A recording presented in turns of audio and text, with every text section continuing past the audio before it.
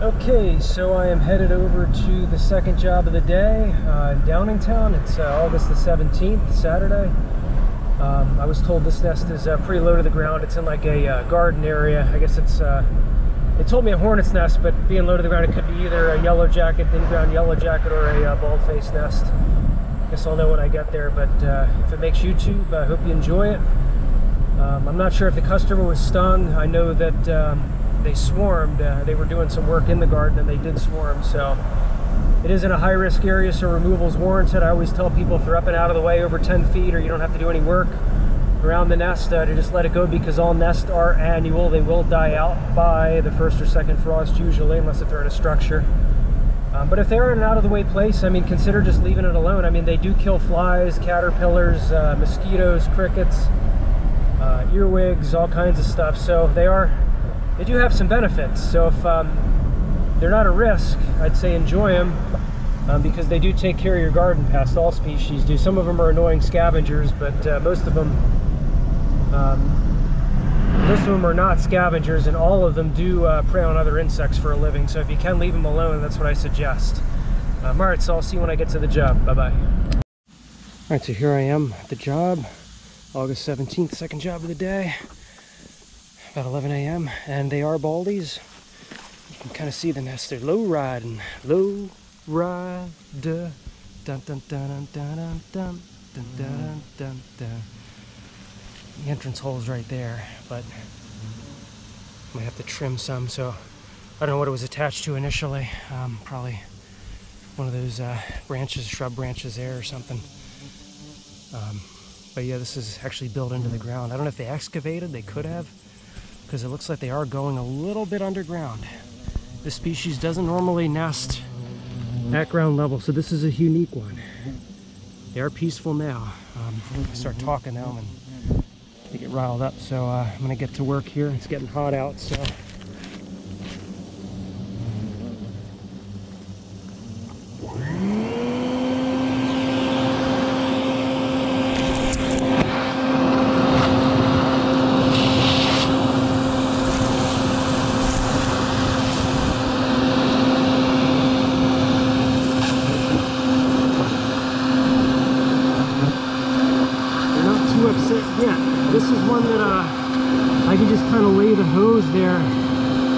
let the vacuum do its work. So much more simplified than uh, the last one. And they don't, I don't think they released pheromone yet, so they're not pouring out of there, they're not swarming me. Just kind of suck them up as they return. Got a group of them around me, but uh, they're getting sucked up. So just kind of draw the numbers down and then I'll uh, start start banging around so to speak surprised that didn't upset him, but yeah, just kind of float into the hose.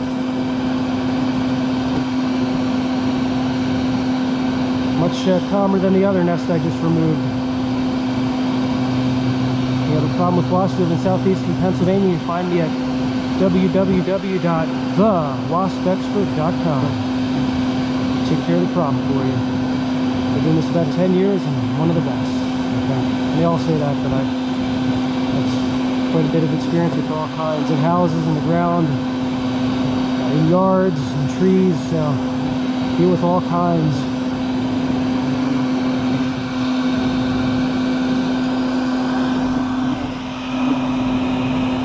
I got that low rider song in my head.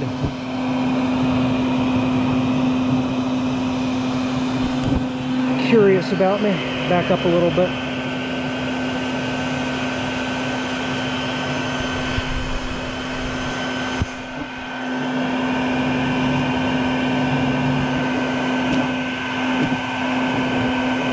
Seems like a big nest, so if I can vacuum up as many as I can before a real swarm starts, all the better. That's the that's always the objective. Just giving some advice for anybody who uh, might want to get into this. They are attacking the camera now. Does make an excellent decoy.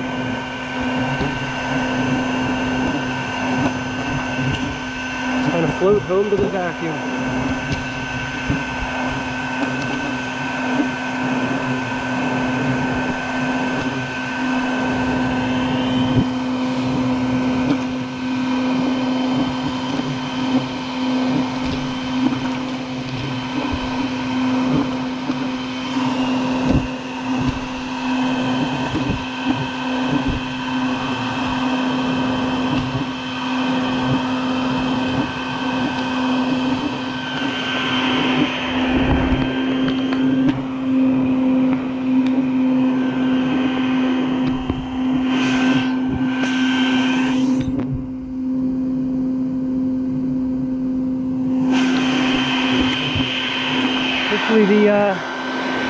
to get some PM thunderstorms, so hopefully the weather holds out. It's been kind of like this. It's been a front of low pressure that's stalled since Tuesday. It's actually to the south, so the weather hasn't been too bad, but it just kind of had scattered thunderstorms and rain since Tuesday, which uh, is kind of annoying. They try to get a piece of me, but their stingers don't seem to get stuck as much as uh, their smaller yellow jacket cousins.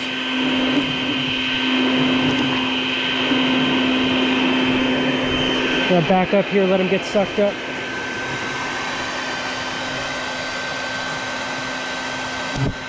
Still pretty docile so far. Just gotta let it do its work. Let's say this is a two to 300 worker nest. They're getting sucked up. This is easy. It's like working a ground nest, this one. I'm just curious to see how much of the nest is underground, how much they excavated, because there's a book by Duncan, 1939. He said the uh, the instinct for uh, Dolichovespula, which is uh, the bald-faced horn, the area, aerial yellow jacket, the uh, behavior to excavate isn't displayed, so they don't have that behavior, but I disagree. From what I've seen, I, I, I think that they can excavate. So we'll see if this uh, this nest uh, backs up my theory that they can excavate, that they do have the behavior to excavate.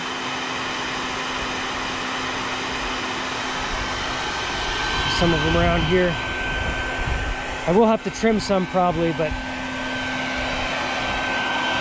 they don't mind. The customer actually was going to trim out this uh, this shrub anyway, so it doesn't really matter. It's actually cooling off now. I feel a cool breeze, which is nice. Just as long as it doesn't start storming. Nothing worse than a rainstorm on the job.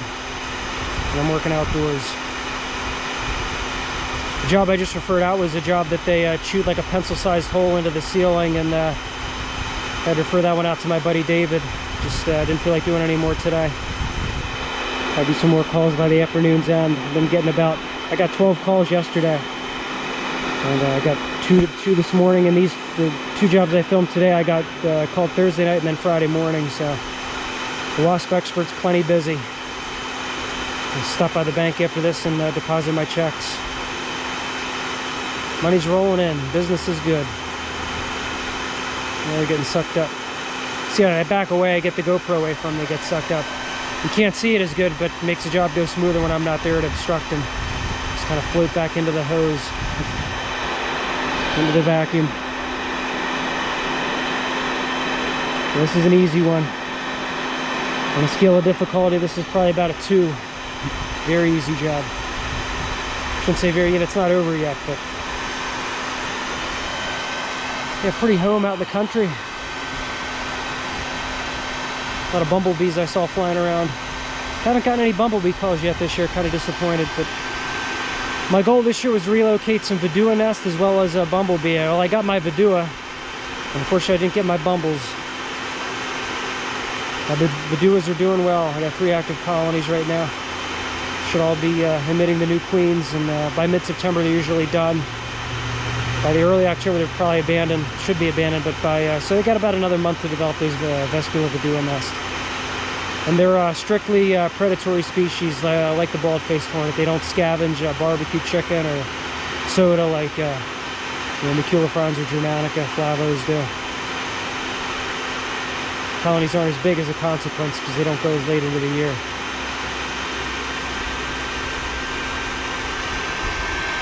rolling the numbers down. Here I am. Battery's almost dead, so I might stop it and uh, show you some of the nest. I know a lot of people like the vacuuming, other people like uh, seeing the nest opened up. Closer here.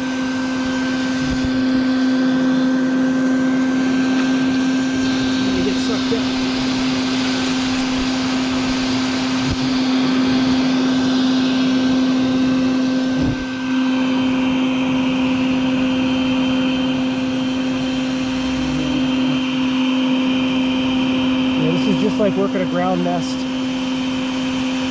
Only it's easier because I can see nest. Sometimes with the ground nest, you got to do some digging.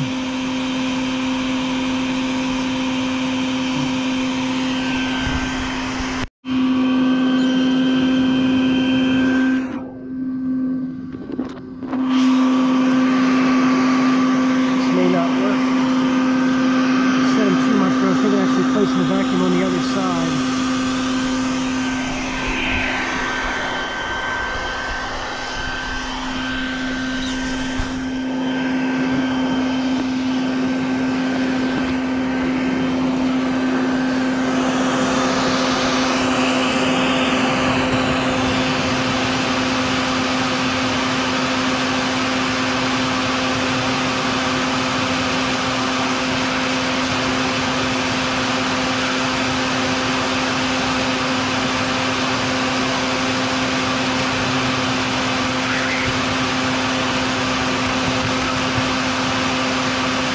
Yeah, the objective is uh, all the ones returning from foraging are to get sucked up, and it seems to be working.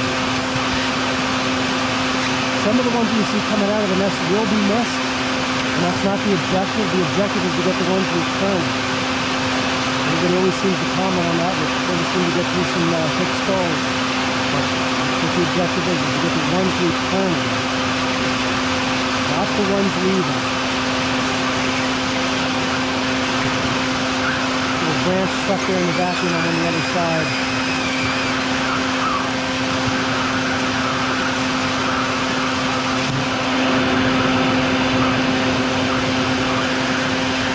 See that out? Without disrupting too much. It's like a piece of mulch stuck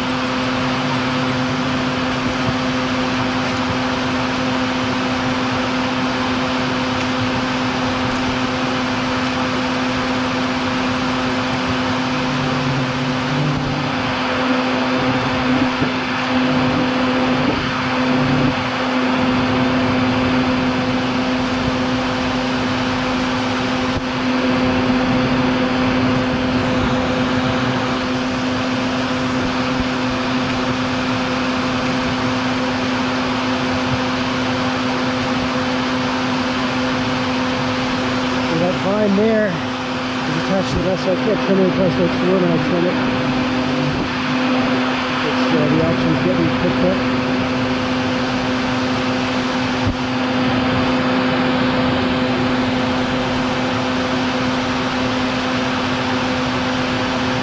Batteries are about 30 some percent, so it's winding down. I want to get this angle.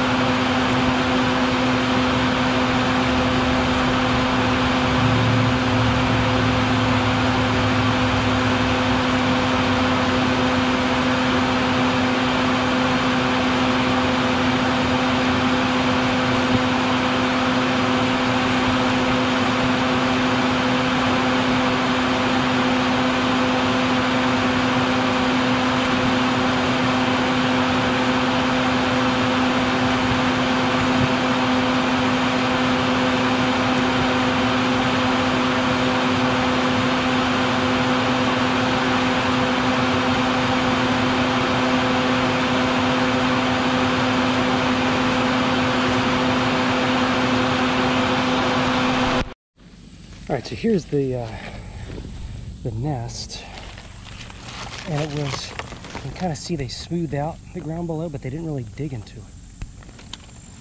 I'm gonna take it out soon. Let me show you the catch. It had reproductives too. I did let some of the new queens leave, and if males and new queens, you know, it's kind of tough when you're vacuuming, but I let at least three new queens fly away. So that's uh, the catch. And like I said, it was probably about a 300 plus worker nest, I'm guessing. It's a pretty big one. Not average, but a little bigger than average, I'd say. Um, it's my hand for comparison. Kind of get an idea, and it goes back there. So it's probably, it's a little bit wider than it is tall. Um, I did fog in the entrance hole a little bit just because um, it's right by the driveway and kind of wanted to speed things up a little bit, but it's probably about, it's over a foot wide and I'd say maybe a foot tall. a little less than a foot tall or about a foot tall and maybe 14, 15 inches wide and maybe 12 inches tall, my guess. Pretty colors in this nest. Still some workers coming back, but we gotta take care of them. Um, this is uh, kind of what what we were dealing with. Probably should cut it open after I get it out, but that's what I'll do. All right, so I got the nest out. Um, it was mostly attached to this bush here. It's ready to cut. Um, a lot more calm now, but this is uh, the nest.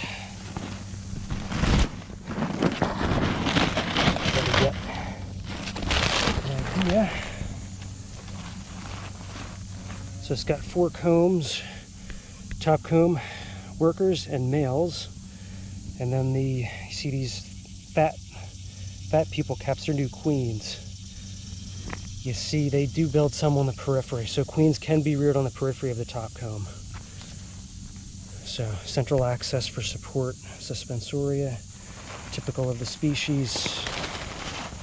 Uh, did look like they have another accessory comb here. So could, could say it has uh, five combs. This is probably a reproductive comb, but it was built just to the uh, to the side under the uh, top comb. Look like there's an ant colony in here too. It's interesting. So yeah, it's got technically it has uh, four levels of combs, but it's got five combs just because they built another comb under the, the first comb to the side of uh, the main comb set. Those are nails.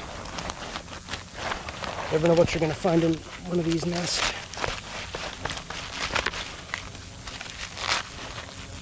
It's the ant colony. Huh. Separate it's just tricky. So, a lot of males. And uh, see if the founder's queen is up here somewhere. I think that's, yeah, this is the, the original queen right here. She loses her ability to fly. It's the queen that started this nest. A little bit of age spots on her. That's the queen right there, and then you can see the catch. A lot of vacuuming in this video. Um, Looks like there's another accessory comb there. Interesting how they do that. So there's two accessory combs plus the four main combs. One, one, two, three, four main combs. And then you got one, two accessory combs. So pretty interesting.